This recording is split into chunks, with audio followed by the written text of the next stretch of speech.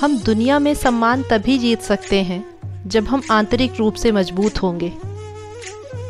वो सलाह दूसरों को नहीं देनी चाहिए, जिस पर हम खुद अमल नहीं कर सकते।